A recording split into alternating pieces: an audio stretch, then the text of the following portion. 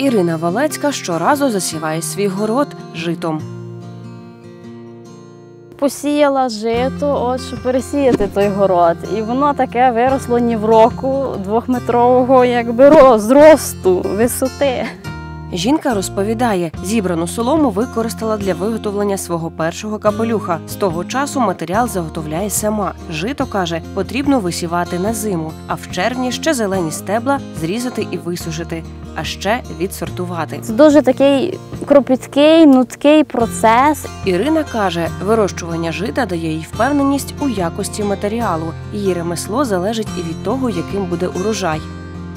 І щоб була погода гарна, і от зараз от сонечко, а перед тим були дощі. Солома замокає,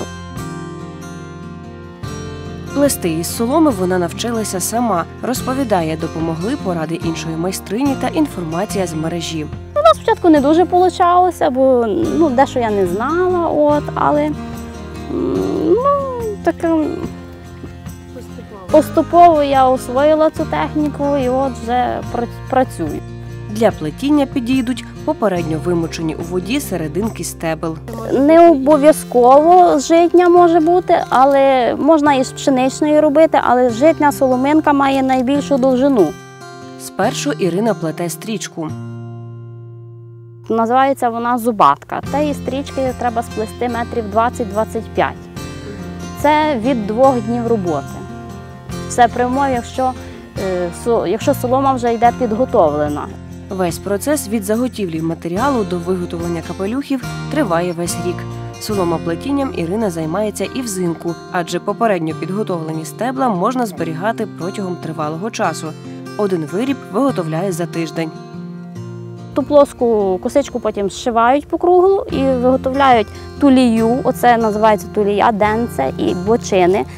Ірина відтворює давні і вже дещо забуті традиції цього ремесла. Не в кожному селі був майстер по соломоплетінню. Майстриня оздоблює капелюшки стрічками на сучасний лад, випробовує різні форми виробів. Зараз працює над капелюхом канотьє. Майстриня каже, солом'яні капелюшки нині у тренді, а ще солома це природній матеріал, який чудово захищає від спеки. Він екологічний, він гігроскопічний, тобто він вбирає якби під з- з голови. Ірина каже, такий капелюх може прислужити своєму власнику до 20 років.